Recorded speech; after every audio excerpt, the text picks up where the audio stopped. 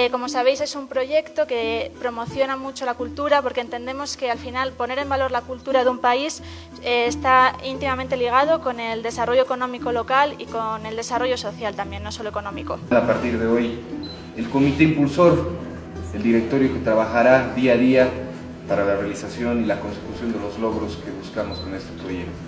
En julio del 2014, el mundo reconoce al Capañán, nuestro sistema vial andino, como patrimonio de la humanidad.